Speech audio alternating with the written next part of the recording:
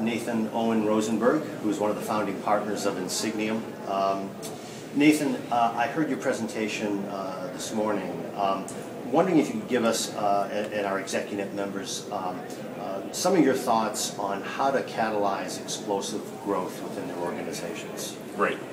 Um, you know, it, most companies are really uh, not taking advantage of people's full contribution. And uh, people have real difference to make. I mean, you know, let's face it, you and I spend more of our waking time at work than any other place. Uh, and, uh, and if executives can create an environment in which people, A, are clear about the future that the organization is creating, that the, where are we going? What are we making happen in this company, number one? And then two, have an environment in which they can realize that future for the organization. You start to get the beginnings of explosive growth. Uh, but then what it takes is an environment that supports people's creativity. Um, most of us have had our creativity beaten out of us during our education. Uh, we learned to color within the lines. Uh, found out we're not good drawers, we're not good painters, we're not good musicians uh, for most of us, and so uh, we need to recover that creativity that's innate to human beings. Uh, secondly, is the structures of the company need to be set up to support innovation and creative thinking. Take the ideas, have a pathway to turn them into products. Uh, third is that um, value isn't recognized, uh, what we call corporate myopia, that needs to be taken care of. And, and then finally, those ideas need to be turned into products, need to be turned into services, need to be turned into new ways of managing and leading. And so you need, uh, you need pathways for effective execution. And when you put that together, Joe, then you got a chance of, of really great growth. Okay. Uh, Nathan, uh, I've heard you challenge companies to uh, look and, and look inside and look deeper, look with a new lens on their own organization uh, to the, the seeds of innovation uh, that might be there. Uh, you're really challenging organizations to take a real uh, new, fresh look. Um, could you describe sort of that process or, sure, or the potential results? Yeah. You know, Joe, you and I can both look at the same thing and see two different things. Um, uh, there's a famous international bank that has a whole ad campaign on that, right? Um, and what you see as an opportunity, I can feel as a threat. So one is is that you need new perspectives, you need new ways of looking.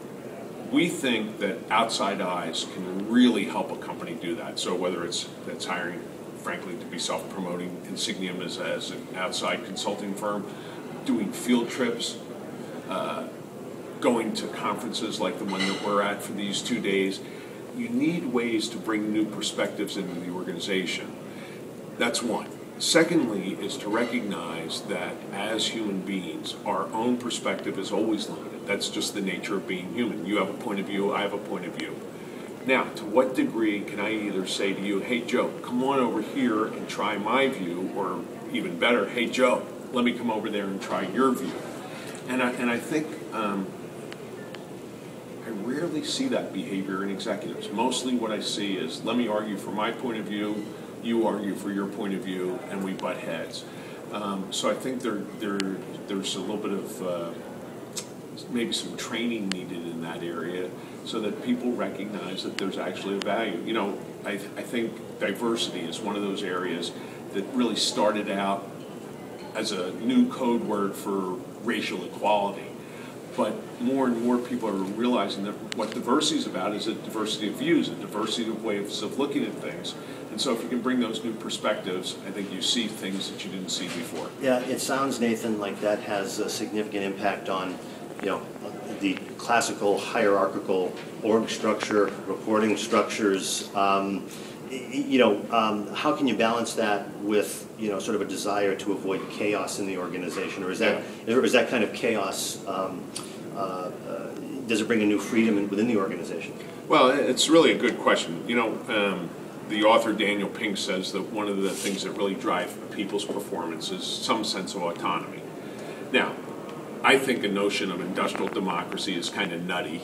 Uh, it, as far as I can tell, it doesn't work. So uh, I think that one of the things is to put decision making at the appropriate level in the company.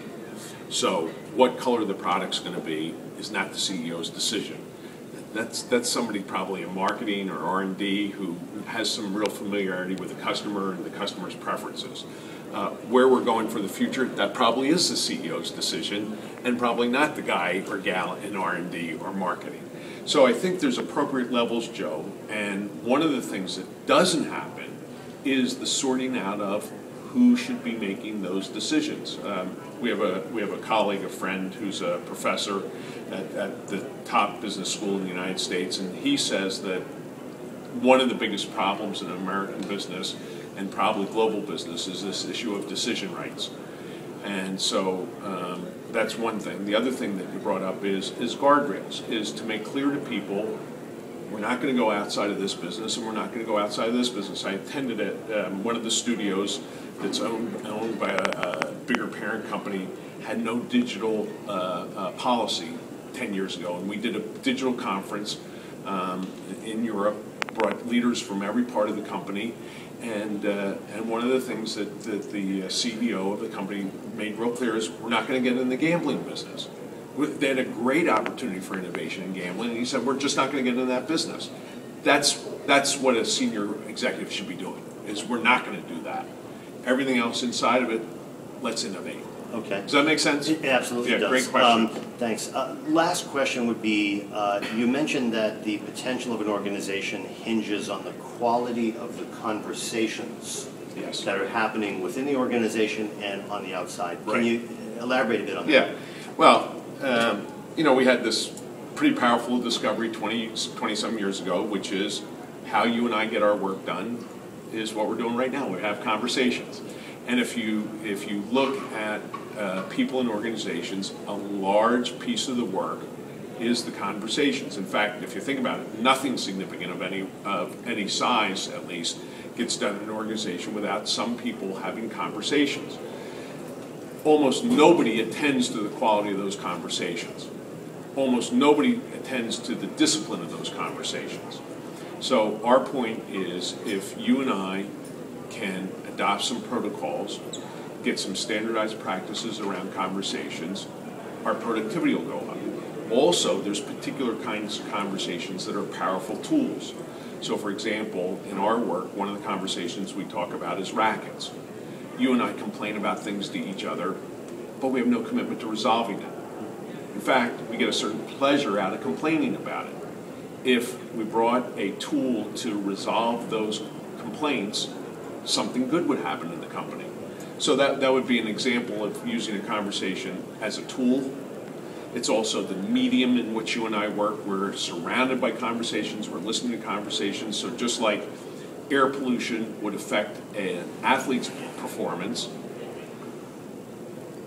polluted conversations impact your and my performance. Mm-hmm. So it's, it's both the medium in which we work, it's the work we do, and it's a tool in getting the work done. Okay. And, uh, and therefore, we happen to think conversations are pretty powerful. And just one last observation. Uh, I suspect that those conversations have bearing on both organizational performance and also one's own career. Uh, No question, no question. So one of the things that, that I always, when I do executive coaching, one of the things I always ask executives to take an inventory of is, who are you having conversations with? What's the content of the conversations? And what's the structure of the conversations? And if you start to do an inventory of that, Joe, you start to see, wow, A, I keep having the same conversations over and over again.